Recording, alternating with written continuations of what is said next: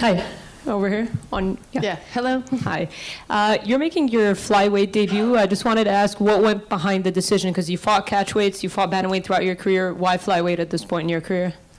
So basically, um, uh, every time when I was stepping to a featherweight, it was just because I wanted to get a fight. Uh, I, I just catch the opportunities, but it wasn't because I was too big or big enough for featherweight. It was just like catching opportunities, you know.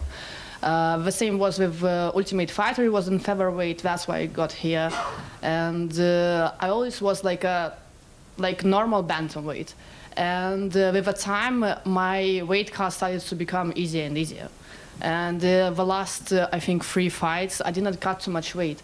And basically, looking on my frame, I'm typical flyweight. Uh, I, I never was the biggest bantamweight, uh, and we always was thinking with my coach about uh, changing the weight division, but we was looking for how to cut weight more, and uh, my body just started to do that by itself. And uh, when the opportunity came, uh, we just like, okay, let's let's try that one.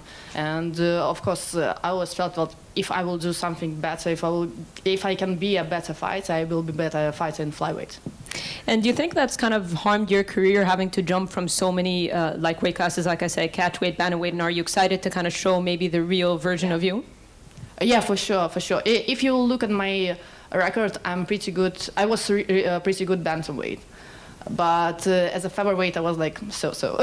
yeah. So I hope that I'm gonna be even better uh, flyweight and you're taking on uh, Molly. Obviously, uh, the crowd's going to be behind her, but we are in Europe, so it is kind of like close to you as well. So, uh, what does it feel like to kind of be in enemy territory, and are you expecting to have some fans uh, come to watch you as well? You know, it's not the first time for me fighting in the enemy territory, and uh, uh, for me, honestly, I love that. I, I love when I'm fighting uh, in the territory of my opponent when everybody is cheering for them. Uh, it boosts, boosts me uh, even more also. And, uh, you know, um, fighting in London, it was my dream because uh, London is the closest uh, is the closest city where like UFC is doing events uh, to Lithuania. We have a very big uh, community of Lithuanians here. Uh, also, our I'm representing Roger Gracie Academy, and the academy is here.